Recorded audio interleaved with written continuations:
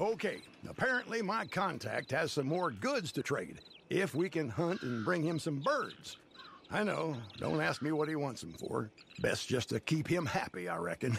I mean, we need the supplies. I'm sure you can handle that, right?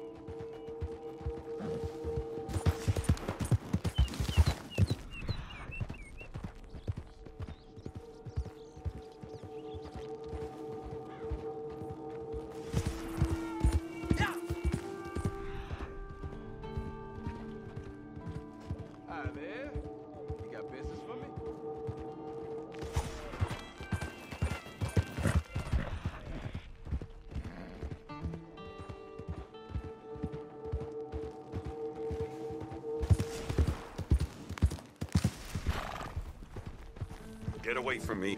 Hey, what the hell?